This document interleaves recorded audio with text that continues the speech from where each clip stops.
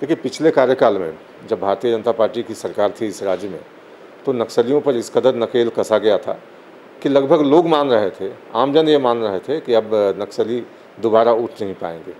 और हम ये दावा भी नहीं करते थे कभी सत्ता में रहते हुए भी कि हमने नक्सलियों को बिल्कुल शत प्रतिशत ख़त्म कर दिया।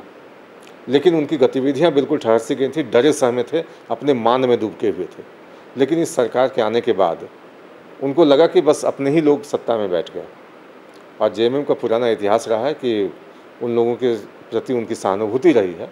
तो वो जो आप कह सकते हैं, जो गठबंधन अंदरूनी है, खुलेआम तो कोई स्वीकार नहीं करेगा, लेकिन जो अंदरूनी गठबंधन है, वो जब पीठ पर हाथ पड़ा उनका तो सारे लोग आज सामने हैं और देख रहे हैं किस तरह से वारदात चारों तरफ़ जिस तरह से हो राज्य के विकास को रोकने के लिए, लोगों को भयांक्रांत करने के लिए, रंगदारी वसूलने के लिए, मैसनरी में आग लगाने के लिए, जैसे छूट सी दे दी गई हो उनको तो वाकई चिंता का विषय है।